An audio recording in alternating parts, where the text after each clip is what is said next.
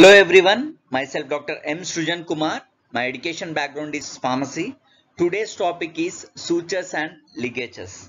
This sutures and ligatures comes under a broad topic called as surgical dressings. Let's move on to the topic. Coming to the introduction of sutures and ligatures, first we'll go through the definition of surgical sutures.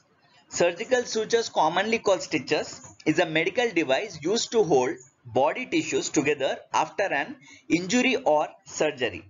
Application generally involves using a needle with an attached length of thread. Combination of needle with an attached length of thread will provide surgical sutures after injury or surgery. If you see the ages, ancient ages and if you see the current scenario, there is an increased development in needles as well as in your thread materials. A number of different shapes, sizes and thread materials have been developed over its millennia of history. Next coming to the definition of ligature. In surgery or medical procedure, a ligature consists of piece of thread tied around an anatomical structure, usually a blood vessel or another hollow structure, for example urethra, to shut it off. So, there is a small difference between your suture and ligature. Suture will be done with the help of your needle and thread, but ligature will be done with a piece of suture. Okay, a piece of suture will be tied around an anatomical uh, structure. Usually, it might be a blood vessel or any another hollow structure. For example, it is given as urethra to just shut it off, to just close the organ or to close the blood vessel.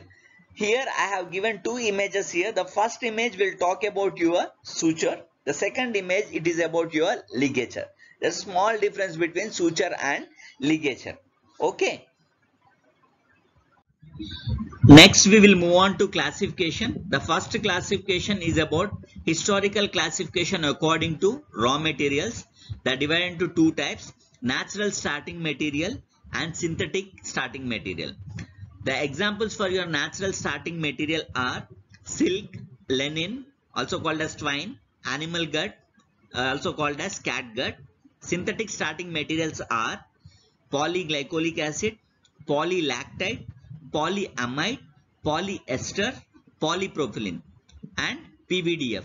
So PVDF is nothing but polyvinylidene fluoride. PVDF is nothing but polyvinylidene fluoride. Next classification according to the type of threads.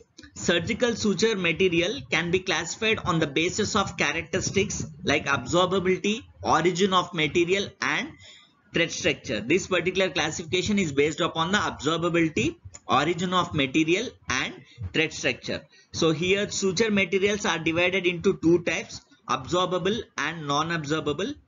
First we'll deal with the absorbable section and next we'll move on to non-absorbable. Absorbable again divided into two types synthetic and natural. Absorbable again divided into two types synthetic and natural. Synthetic divided into two types monofilament and multifilament. Mono and multifilament. So monofilament examples are Serasynth, Serafast. Serasynth, Serafast and multifilament examples are Serapid, Serafit. Serapid, Serafit. The difference between monofilament and multifilament we will discuss under the next slide. Okay. Natural divided into two types monofilament and multifilament. Monofilament and multifilament. There are no examples for your monofilament. Multifilament examples are catgut, plain and chromic. Catgut, plain and chromic. Okay. And coming to the non-absorbable, non-absorbable type. So non-absorbable again divided into two types synthetic and natural. Synthetic and natural. Synthetic again divided into two types monofilament type, multifilament type. Monofilament type, multifilament type. Monofilament examples are Seralon, Seralon, Seralene, Seralon, Seralene, Serapren, Serapren, Seranox, Seranox. Multifilament examples are pteryline, pteryline, Seracor, Seracor, sulin, Sulin, Seranox, Seranox. Okay. Coming to the natural, they are divided into two types, mono and multi. As usual, mono, there are no examples. Multifilament, example is Seraflex. Multifilament example is Seraflex. This is a classification based upon the characteristics of your threads like absorbability, origin of material and thread structure. Now, as we have discussed in the classification, more the different types are monofilament and multifilament. Let us see here what is the difference between mono and multi. So, synthetic monofilament threads are produced by special extrusion process in which molten plastic is extruded under high pressure through fine spinnerets. The monofilament structure is used mostly for thinner threads. So monofilament is nothing but this particular type of suture material will contain only one thread. Okay. So these monofilament threads are thinner threads. And how these synthetic monofilament threads have been produced? It will be produced by a special extrusion process. Okay. Specialized equipment will be there. The equipment name is extruder. Okay. This particular extruder works on the principle called as high pressure okay the plastic molten mass is kept into the extruder and high pressure is applied onto the extruder okay at the tip of the extruder will contain some uh, uh, uh, spinnerets okay through that spinnerets your threads will be ejected outside. This is how your synthetic monofilament threads will be produced. Coming to the multifilament suture suture materials. Multifilament suture materials. Multifilament threads are composed of many fine individual threads either twisted or braided together. Monofilament will consist of a thing, single thread but multifilament will consist of a many fine individual threads. And how they are arranged. They are either arranged in a twisted fashion or braided together. Twisted fashion or braided together. What do you mean by twisted? Twisted is nothing but crumpled. Okay twisted is nothing but the fine threads are crumpled. Okay what do you mean by braided? Braided is nothing but join three or more pieces of string like material like your threads by putting them over each other in a special pattern what do you mean by braided? Join three or more pieces of string like material by putting them over each other in a special pattern. Okay? That is nothing but called as braided fashion. The direction of the twist is generally right handed okay? And the twisting direction is here it is given. The twisting should be right handed twisted multi multi-filament threads include silk threads. The examples for your twisted multi-filament threads include silk threads. You can see some two images placed here the second image will talk about the difference between monofilament and multi-filament. Okay monofilament you can see only single thread but multi-filaments there are fine individual threads that are in twisted or braided condition. On the left hand side you can see clearly uh, the first image will talk about the difference between your braided and twisted. Can you see braided? Okay as i said three or more individual uh, fibers are arranged one, one over the other okay? In a special pattern. That is nothing but called as braided. In the first image you can see three types. Multi-filament braided multi-filament braided and coated multi-filament twisted okay? This is the difference between the braided and twisted multi-filament suture materials. Yeah we will move on to the next classification based upon absorption characteristics this is a modern classification based upon the absorption characteristics. So this modern classification has been divided into five types. First one is non-absorbable non-absorbable. Second one is pseudo absorbable third one is slow absorption. Fourth one is medium term absorption. And fifth one is fast absorption. As this classification has been divided according to the absorption characteristics so the first one non-absorbable the examples are silk silk Resopren Resopren Mopylen Mopylen polyester polyester, supolin, supolin wire. These particular examples comes under non-absorbable type suture material. Next pseudo-absorbable, pseudo-absorbable, Resolon, Resolon, nylon, nylon, Supramid, Supramid. These are pseudo absorbable. Next, slow absorption, slow absorption, caprolon. Example is caprolon.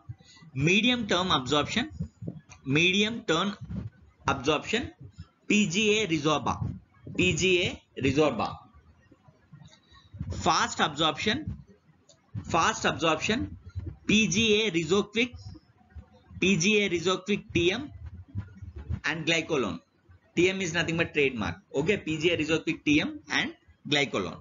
These are the examples for different types of suture materials that are classified based upon the absorption characteristics.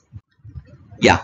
Next we'll move on to the a particular session called as the difference between monofilament material and multifilament material the difference between monofilament material and multifilament material. So the proper what are the properties of your monofilament material? So no capillary, no capillarity is found in monofilament. Okay, because any suture material that has been applied onto the wound, okay, ultimately it may show capillarity, it may not show capillarity, but in the case of monofilament, there is no capillarity observed and there is no solving action there is no solving action. Solving is nothing but tool or device for cutting. Solving is tool or device for cutting. So there is no cutting action for your monofilament material. Easily knotted, easily knotted. You can just uh, make the knots easily. Easily passes through tissue. It is easy for your monofilament material to pass through the tissue. Coming to the properties of your multifilament material multi-filament material will be having very high tensile strength. Why? Because 4 to 5 individual uh, threads are twisted or braided together. So that's the reason they will be having more high tensile strength, high knot security. It will be having high knot security because you can have an imaginary idea. Ma. When you take single thread, check with the knot security and when the same single thread has been braided with 4 to 5, the knot security will be more for your multifilament when compared to your monofilament. And very supple. Supple means bending and moving will be easy. That means that in simple way we can say that this multifilament material as having more flexibility. Okay? And simple handling. You can handle easily. Okay? Simple handling will be possible with multifilament material. So what are the absorbable materials for your monofilament material and multifilament material can be used. So caprolon, glycolon are the absorbable material used for monofilament type of material and PGA Resoquick and PGA Resorba. These are the examples for your multifilament material, absorbable material for multifilament material. Coming to the non-absorbable material, non-absorbable material for monofilament.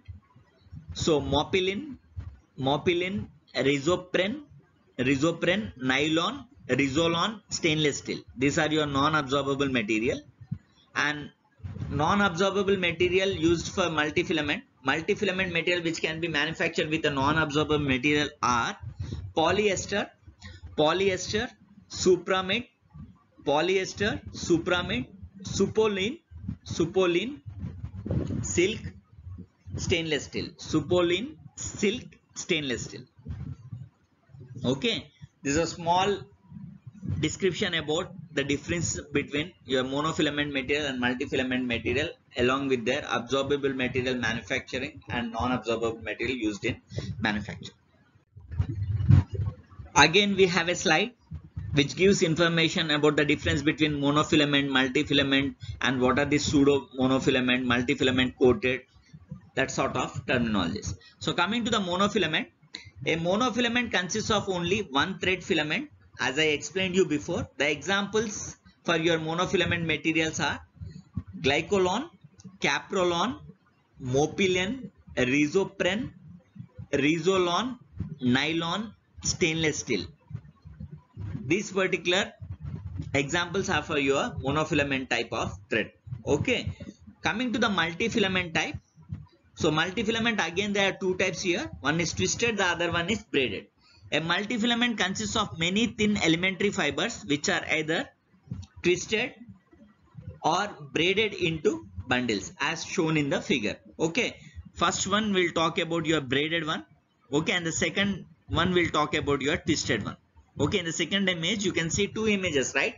The first image is something example for your braided and the second wheel is something for your twisted. Always the twisting should be on right hand side. Remember. Okay. The examples for your multi-filament are stainless steel, stainless steel multi-filament, polyester, silk okay here we are not discussing about the absorbable and non-absorbable in common we are discussing what are the examples for mono and multi coming to the coated or pseudo monofilament coated or pseudo monofilament okay the thread interior so-called thread core a bundle of parallel filaments is embedded in a mantle like or tube like coating that provides a smooth cover so already a thread interior will be present inside which your main core of your thread will be present. Surrounded parallel to that a bundle of parallel filaments will be present. Okay. They are arranged in such a way that the shape will be like mantle like or tube like. So why this type of coating you know this type of coating will provide some smooth cover onto your core of your filament. Okay. The example is supramid the example is supramid. Next, multifilament coated. Multifilament coated. So multifilaments can be treated with various special coating materials to improve their mechanical properties. So till now we have discussed something about what do you mean by multifilament. Multifilaments might be twisted or braided. So after preparation of your multi-filament material, you can also coat that multi-filament material. What is the purpose of coating your multi-filament material? In order to improve their mechanical properties. Not only improving their mechanical properties, in this way, when you coat a, when when you coat a coating substance onto your multi-filament material, what happens? Any uneven uh, spaces that are present onto your multi-filament, okay, that uneven spaces will be covered. When uneven spaces will get covered and when you are getting a smooth uh, texture onto your multi-filament ultimately what happens here? The surface friction will get reduced. The surface friction will get reduced. This is the advantage of coating okay? One one advantage is for to improve their mechanical properties. The second one is to reduce the surface friction. The examples are pga resorba pga resorba pga Resoquick PGA Resoquick Supolin. Supolin. Coming to the table which gives information about different types of suture materials which are classified based upon their absorption characteristics okay which are present in modern era okay first coming to glycolon the raw material that is present in glycolon is polyglycolic acid and caprolactone. The structure is monofilament metric type and the color is violet undyed and the tensile strength to 50% is 9 days 50%. So what is this tensile strength 50%? In what way this tensile strength is important for suture material? So tensile strength is nothing but it is a measure of the ability of a material to withstand a longitudinal stress. What is tensile strength? It is a measure of a ability of the material to withstand a longitudinal stress expressed as the greatest stress that can material can withstand without breaking. It is expressed as a greatest stress that the material can withstand without breaking. So always this tensile strength will be considered in relation to the absorption time. So the period in which the suture loses 50% of its knot is nothing but called as tensile strength. So absorption time is nothing but the period in which the suture loses 50% of its knot tensile strength is called as absorption time. Okay. So absorption time is directly related to the tensile strength. So that's the reason tensile strength will be calculated to 50%. So it will take 9 days to reduce to 50%. 9 days to reduce to 50% of what? Tensile strength of the knot of your suture material. Tensile strength of the knot of your suture material. Okay. In order to lose 50% of knot tensile strength, it will take about 9 days for glycolon. Okay. Next. PGA Resoquick the raw material that is present is polyglycolic acid coated and the structure is multifilament braided type okay? And the color is undyed. And the tensile strength 7 days to 50 percent. Pga resorba polyglycolic acid coated. And the structure is multifilament braided type. The color is violet undyed. And the tensile strength is 14 to 21 days to 50 percent. That is pga resorba is having high tensile strength when compared to glycolon and pga Resorba coming to caprolon. Okay the raw material that is present in caprolon is poly L lactide co E caprolactone. The structure type is monofilament. Color is violet undyed and the tensile strength is 45 days to 50 percent. And there are some other suture materials that are present like Mopylen. The raw material is polypropylene and the structure type is monofilament and the color is blue. And Resopren the raw material is PVD, PVDF. The structure type is monofilament. The color is blue. Polyester. The raw material is polyester. The structure is multifilament braided. The color is green white. Next, Supolin. Raw material is polyester coated. The structure is multifilament braided. The color is green white. Nylon. The raw material is polyamide the structure is monofilament. The color is white black. Next Resolon. The raw material is polyamide. The structure is monofilament. The color is blue. Supramid. Again the raw material is polyamide. Okay, the structure is pseudo monofilament as we have discussed earlier. The color is white black. Silk. So the raw material is silk fibroin okay the structure is multi-filament braided. The color is white blue black. Stainless steel. The raw material is stainless steel. The structure is monofilament. It can be monofilament multi-filament twisted. Okay the color that has been not mentioned these are all information about your different types of suture materials which have been classified based upon the absorption characteristics Coming to an important suture material which has been from the ages, the first suture material that has been introduced in 19th century. Okay, the suture material name is catgut. So what is catgut? Catgut, the widely used suture, is derived from animal intestine and it is over 99% pure collagen. So catgut is a widely used suture. It has been derived from animal intestine. The purity of the catgut is 99% pure collagen. It is made from the submucosa of sheep intestines or the serosa of beef cattle intestine. What is the source of this catgut? It can be made either from submucosa of sheep intestine or serosa of beef cattle intestines. It is monofilament and is absorbed by a process of enzymatic digestion. Catgut is a monofilament. It is absorbed by a process of enzymatic digestion. Okay how this catgut will be absorbed? It is absorbed by a process called as enzymatic digestion. Cat only not catgut not only available in monofilament it is also available in multifilament also.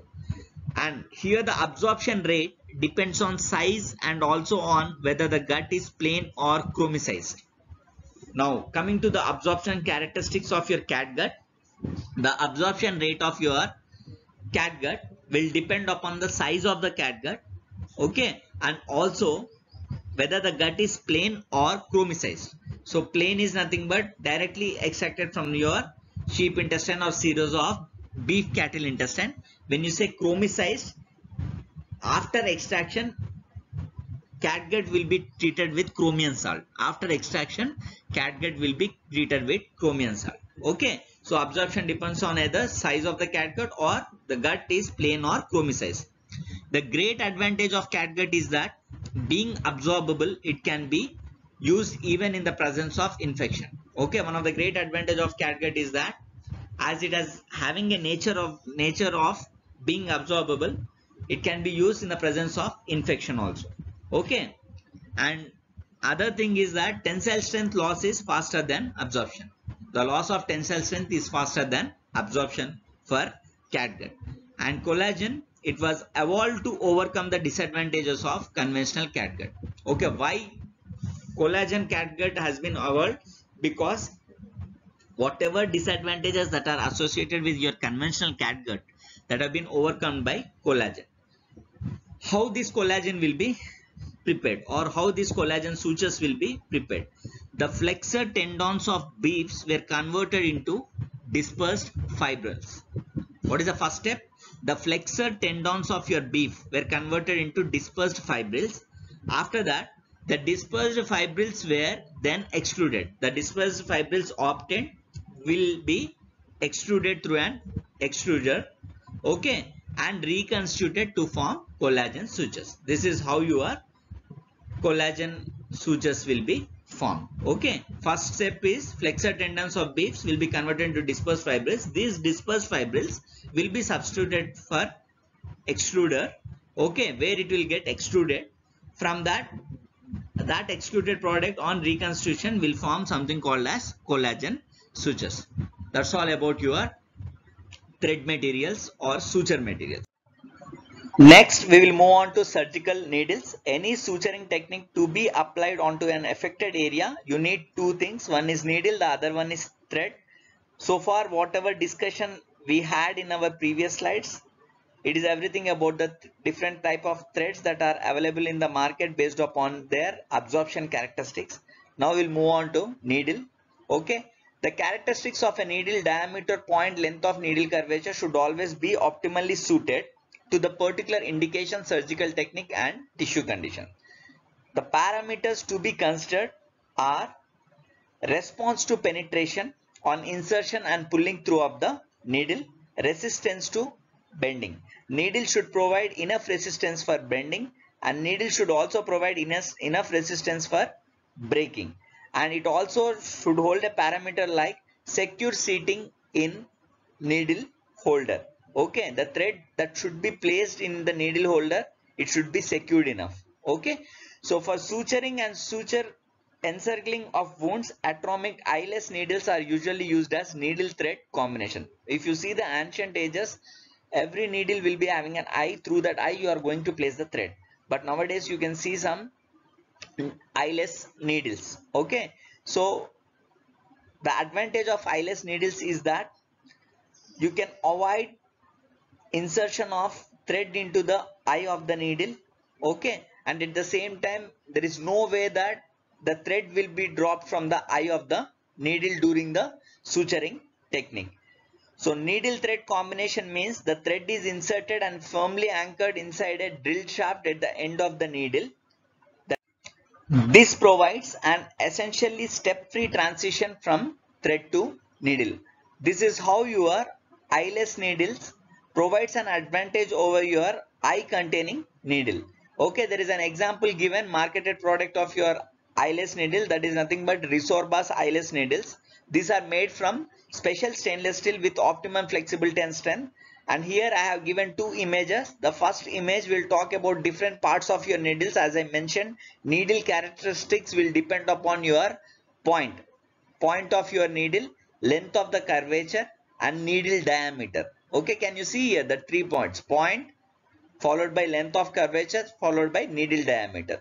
The other parts like body of needle and next is thread and next there is a shaft or swaging zone that is nothing but a cutting zone. In the second image we'll give you an information about different types of needles different shapes of needles like 5 by 8 circle half inch 3 by 8 circle okay 1 by 4 circle v half curved k. There are some alphabets there is an increased importance of alphabets here. I will explain you on the next slide. And straight G and asymptotic A. Okay, these are different types of shapes of your needle. Yeah, these particular two images will give you information about what is the needle curvature, what is the needle diameter, what is the needle point and all according to the abbreviations written. Okay, the first image will talk you about the alphabets that are present on the needle label and the second image will talk about the abbreviation. So coming to the first image, so the number one, what is the first point to be considered? The letter defines the needle curvature. Letter on your needle will define what? Needle curvature. F, the needle curvature is half by 5 by 8 circle, H half circle, D 3 by 8 circle, V 1 by 4 circle, K half curve, A asymptotic, G straight. Second letter defines your needle body and point, rounded body needle, cutting needle. And third point will define special forms of the needle, where it is a premium needle indicated by M, it is a blunt point indicated by N, it is a cutting point indicated by T. This is how it goes. And when you see the fourth one, fourth one will give you about your size of your needle. Better than size you can say diameter of your needle. Whether it's a large diameter extra large diameter or control release needle always the fourth point will be given after your number of your needle. Okay after numbering they will be giving some alphabet. If the alphabet given as s large diameter. F extra small diameter. A control release needle. So first we'll check with an example. Hr so capital hr okay on the right second image ma. Look for the second image hr so h search for the h here. H means nothing but in the first point ma half circle. Okay r. Search for the r. Okay half circle round bodied needle. Half circle round bodied needle. Okay and hs. Hs. Can you see one more? Hs. H means half circle s means cutting needle. Half circle reverse cutting needle can you see the fifth one? Hs. This is how you need to check with the abbreviations. Clear? Yeah rest of all you can just uh, check and you can just interpret the things. Coming to the suture techniques. Suture techniques. So we have studied about threads we have studied about needles. Coming to the techniques. The surgeon choice of suture type depends on a number of considerations. Sutures can be divided into two basic types. So suture techniques will be divided into two basic types. First one is individual interrupted and the second one is continuous sutures. Individual interrupted and the second one is continuous. Let us move on to the first one interrupted sutures or individual sutures. And again these are divided into three types. Interrupted over and over suture interrupted over and over suture interrupted vertical matrix suture interrupted vertical matrix suture that is also called as Donati suture interrupted vertical matrix suture also called as Allgöwer suture interrupted vertical matrix suture also called as Allgöwer suture Allgöwer suture. Okay these are the three types of your interrupted sutures coming to the continuous sutures continuous sutures are divided into three types. Over and over sutures over and over sutures interlocking sutures everting matrix sutures. Interlocking sutures everting matrix sutures. Okay these are your continuous sutures. Next we will move on to special sutures. There are three types of special sutures available. Intracutaneous sutures tendon sutures and tension sutures. Coming to the intracutaneous sutures intracutaneous sutures are applied with the help of clips are applied with the help of clips. The first image will talk about intracutaneous sutures. The in the first image from the bottom can you see there are two clips present left and right? So that are clips used for intracutaneous sutures. And the second image will talk about tendon sutures applying sutures at the junctions of tendons and the third suture type is tension suture. Tension sutures. Can you see the image? From the image you can understand. Okay. These sutures will work on the principle for reinforcement. Okay. Double arm terylene thread or covered steel wire with accessories for reinforcement of primary suture line in abdominal wounds. Okay so especially these tension sutures will be applied in abdominal wounds. Okay the principle is based upon reinforcement principle. Next is guidelines for knot tying. Now we are having an idea about different types of threads available in the market and what are the needles that are available according to their curvature dimensions and all. And we are having an idea about suturing techniques now. Now it is very important to know about knot also knot tying. It that is very important the surgeon must be able to tie a reliable knot as quickly as possible in every situation. The securest knots are fashioned with the tips of the fingers. Always knot should be done with the tips of the fingers and the knot should be secured enough. The loops must be even and correctly oriented for tightening. Okay and the loops of the knot should be even and that particular knot should be correctly oriented for tightening your knots suture filaments must not be unraveled by twisting the loop in the opposite direction. The selection of suture filament is very important and while suturing also the suture filaments must not be unraveled. Unraveled nothing but they should not uh, lose their tensile strength okay while twisting the loop in the opposite direction. Types of knots are half hitch knot. The first type of knot is half hitch knot. First throw a reef or granny knot it is also called as reef or granny knot. That is nothing but half hitch knot. Next is reef square knot. Reef square knot. How this knot can be formed. Two mirror image half hitches placed against each other. First two mirror half hitches placed against each other. The structure ends are parallel.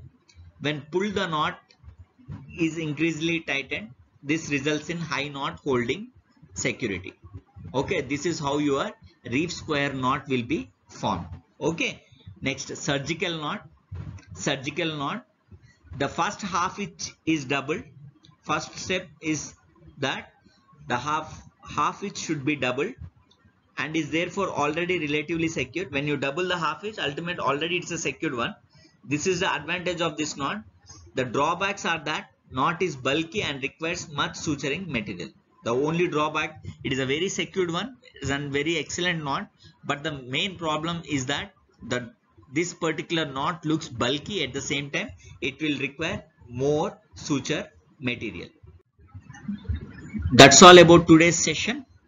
Please view, like, share and subscribe to my channel. Thank you. Thank you very much.